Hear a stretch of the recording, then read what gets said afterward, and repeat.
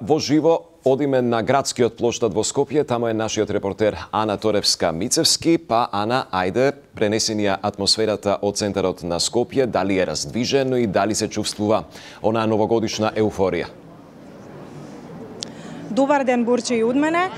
Се чини дека овде се е подготвено атмосферата е раздвижена, граѓаните и денеска купуваат, кафулињата се веќе преполни. Дневната шема што се вели, веќе е во полн ек, па предлагам да ја погледнеме атмосферата и да ги чуеме граѓаните како се подготвуваат во пресрет на најлудата ноќ. Ние со семејството дома. Да, домашни услови. Купивте ли си што е потребно за Па, дочек? да, се припремивме све што треба. Што ќе има на трпезата?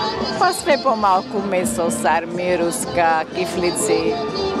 Све што прилега на за трпезата. домашна атмосфера.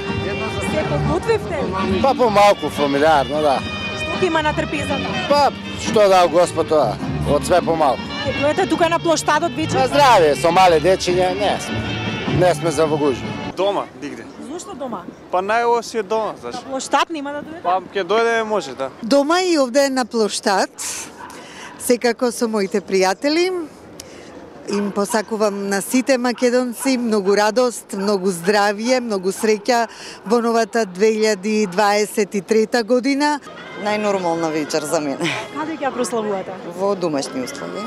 На трпезата ништо подготвивте посебно? Одврзавте ли кесето годинава повеќе? Па не сум имала време ништо посебно да направам, меѓутоа секако дека ќе биде посебно. Веројатно работно. Тука на плоштадот? Сигурно. Што си посакавте од Дедо Мраз за нова година? Ам, јас посакав ам, една камера што вади слики од горе, да е розова. Ам, А ти? јас а, па повеќе косметика. Ана, а за оние кои што планираат тука во Скопје на централниот плоштад да ја дочекаат новата година, да чуеме која е програмата, се знае ли кој точно ќе настапува вечерва? Да, бурче се знае делумно кој ќе настапува вечерва овде на градскиот плоштад, иако метрополата котира меѓу високо во загаденост и годинава, граѓаните сепак ќе дојдат, голем дел од граѓаните ќе дојдат овде да прослават најлудата ноќ. Инаку градските власти како што не информираа, традиционално не организираат дочек на новогодишната ноќ, но сепак музичарите само иницијативно се пријавиле и организирале дочек меѓу познатите музички имиња кои што овде ќе настапуваат вечерва а, на градскиот плоштад се Зуица Лазова, Наум Петревски, Благица Павловска, Фирус Мустафов и Елена Ристевска.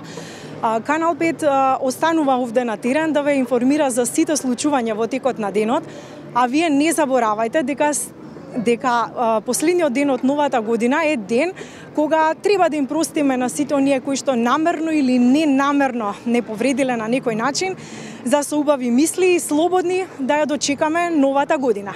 А, имајте убав остаток од денот, не ги заборавајте препораките на докторите, забавувајте се и прославувајте одговорно. Борче? Ана Торевска Мицевски со атмосферата во овој момент од центарот на Скопје ти благодарам.